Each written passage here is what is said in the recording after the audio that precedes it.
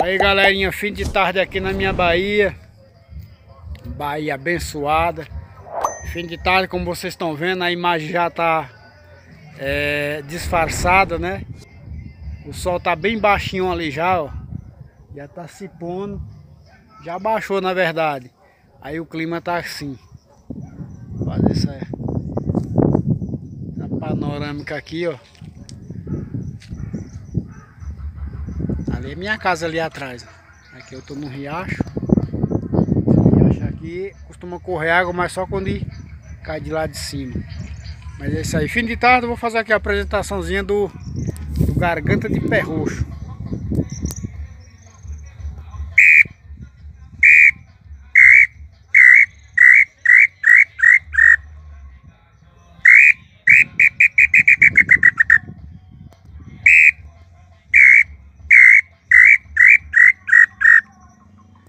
Então, é o seguinte. Canto do macho curto, né? Canto com quatro notas. Canto curto do macho com quatro notas. Canto curto do macho dando ordem para a fêmea voltar, né?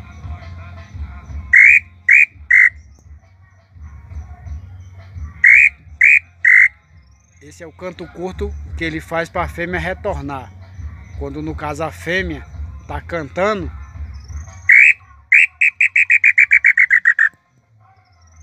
Ou ela tá cantando. Esse no caso é o canto de briga da fêmea. O canto de cruza da fêmea seria esse.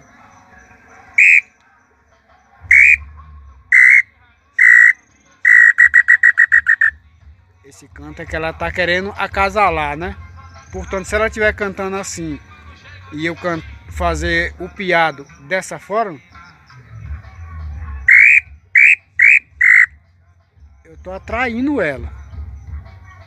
Automaticamente, quando ela diminui o espaço entre eu e ela, ela divide o espaço. Então o macho se sente enciumado, então ele vai dar essa ordem para ela, voltar.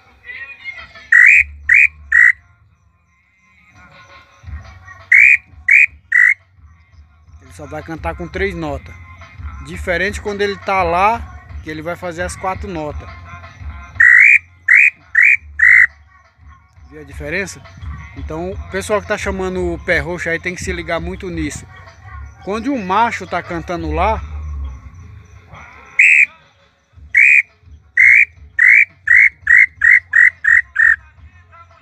ele está demarcando o território dele, dizendo que ali é o território dele, né? Ele está demarcando o território. Então ele está dizendo que ali, o trecho ali é dele.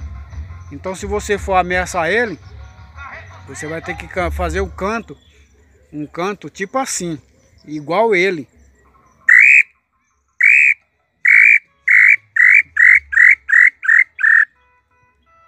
Você está dizendo para ele que ali é o território seu, então ele vai vir para defender o que já é dele, né? Ele não vai aceitar que alguém chegue lá e dê ordem para ele, então ele vai vir de lá para cá. Então o pessoal tem que se ligar nisso aí. Quando for o pé roxo macho que estiver cantando, nesse canto, marcando o território, você tem que usar a mesma artimanha dele. Fazer o mesmo canto para dizer a ele que você é o dono. Então ele vai vir defender. Ele vem de qualquer jeito. E se ele estiver cantando o canto longo, né? Marcação de território ou até mesmo esse,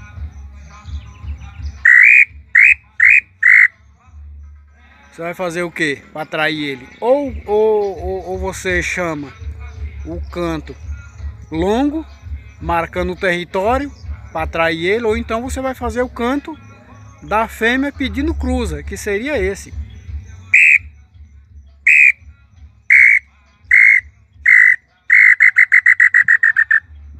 Então esse seria o canto de cruza da fêmea.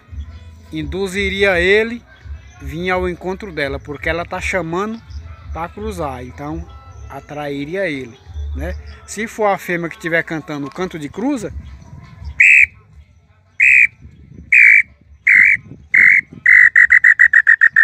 eu para atrair ela, eu vou usar o artifício contrário, eu vou fa fazer o canto do macho. Mandando ela retornar, então eu vou estar tá atraindo ela, como quem diz, venha para cá que seu lugar é aqui junto de mim. É só uma dicasinha aí é, devido ao tempo, né? A gente vai observando, vai fazendo filmagem, então a gente é, estuda muito o comportamento das aves, né? E a pé roxo tem isso. A pé roxo, quando ela quer brigar, você faz o canto de briga, ela vem para cima. Se ela quer cruzar, você faz o canto de cruza, ela vem para cima. Então, é ficar atento no canto, da forma que ela está cantando.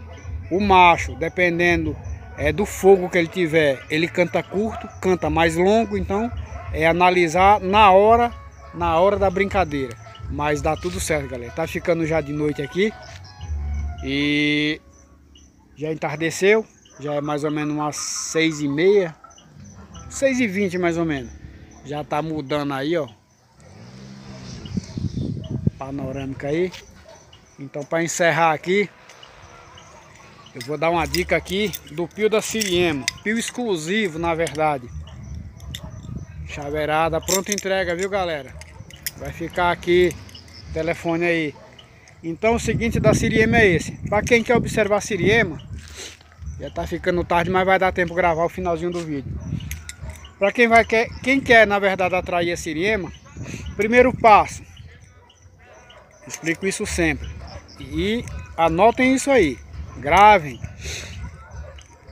Para quem quer atrair a Siriema, o modo mais simples seria o que?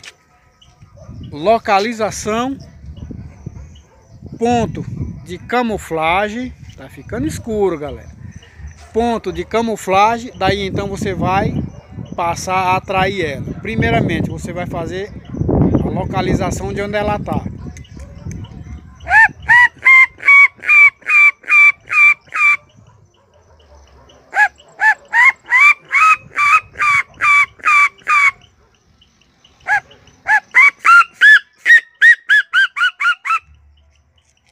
Dá uma pausa.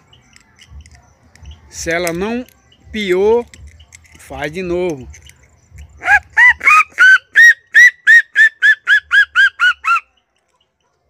Parou. Se ela piar, você vai ouvir ela piando dueto. Geralmente a sirima canta em dueto. Então vai funcionar o seguinte, a partir do momento que você ouvir ela piando, você vai fazer o seguinte. Piou,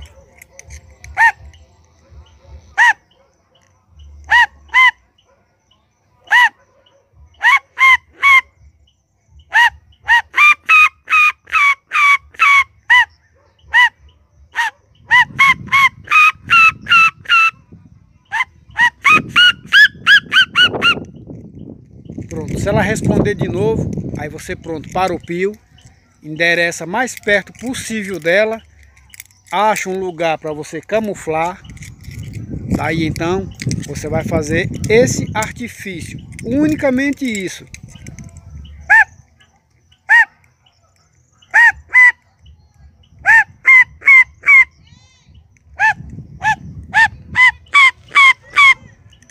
Daí então ela vai vir e uma dica, galera, quando quando a siriema parar de cantar, geralmente é porque ela está sendo atraída.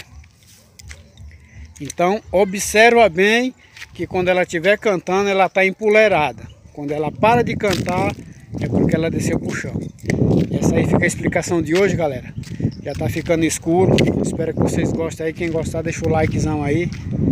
Compartilha aí. Mais uma dica. Vou estar outras vezes é, dando mais dicas sobre esse produto, a forma de chamar, vai dar tudo certo aí. Grava isso aí, copia, copia que vai dar certo. Fui, um abraço aí para todo mundo.